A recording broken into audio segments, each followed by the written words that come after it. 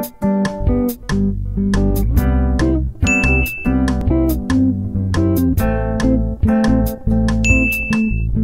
my YouTube family.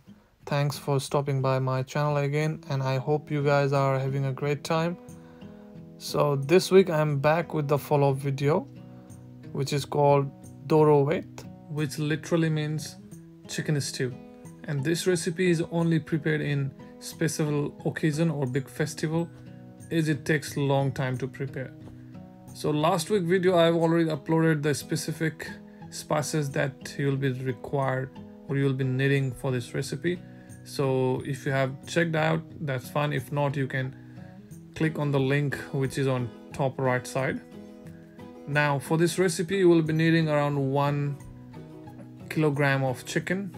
You can use any part but I prefer back or leg part. Now I'll be taking one lime cut it into two halves and we'll squeeze all the juices around my chicken. So basically this procedure helps us to cleanse out the chicken. Now I'll be scrubbing all around the chicken pieces and pour with some water wash it and drain it again cut few pieces of lime spread juice around and leave the pieces all over the chicken.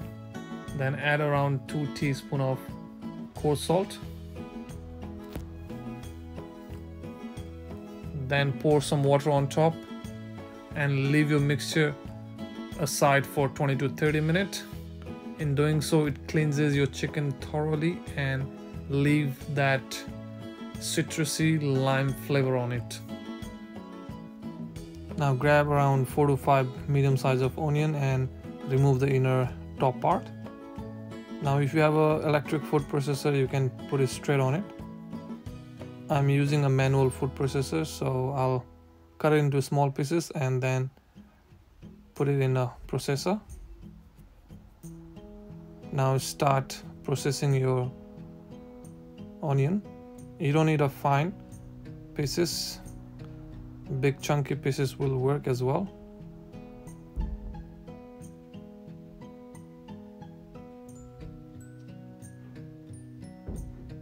Once it's done put it in a bowl and keep it aside. Heat up a pan and add around 2 tablespoons of butter. As it requires pretty good amount of oil. So I would recommend use some healthy oil like avocado or olive oil. Now once your butter is melted add onion on top.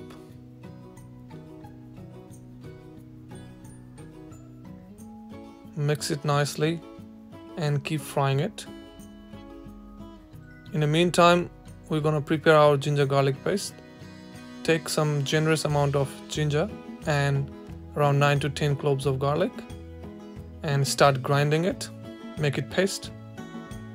In the meantime we'll check our onion. We'll add around 5 to 6 tablespoon of olive oil on top and stir it nicely.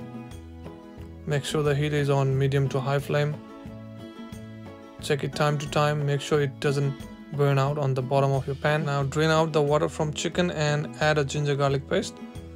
On my ginger garlic paste i've also added 5 to 6 dry chili because by default this recipe has to look red in color.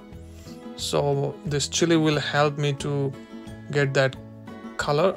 But if you don't like spicy just skip that step also add around 2 to 3 teaspoon of salt on top. Start uh, massaging it. Give it a good massage. Also add a cup of water. And mix it nicely. And keep it aside. Now we'll check on our onion. We need to fry our onion until it's well done or translucent. Once you think your onion mixture is really well done then it's ready to receive its major ingredients called berbere which is famous spices back in Ethiopia and is used on most of the curry without which your recipe won't be dorowet then add kibe now this is also one of the important recipe or important ingredient in this recipe. It's a Ethiopian spiced clarified butter. So if it's not available you can use a ghee Indian ghee which is not um, spiced but that will work. Then start adding your chicken on top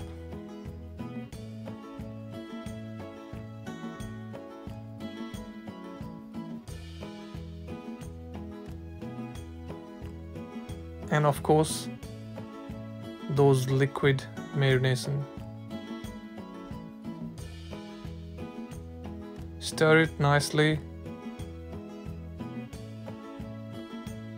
Make sure your heat is in medium to high. Add some salt on top again to taste. Keep stirring it. Make sure it doesn't stick on the bottom lid it up let the juice comes out from the mixture stir it again check it time to time. And if your chicken mixture is getting dry add some water on top mix it well and make sure you put your heat on medium or low flame because we have to cook this for at least two hours Lid it up, check it time to time. In doing so, you'll get that aromatic flavor or juice that comes out of the bone.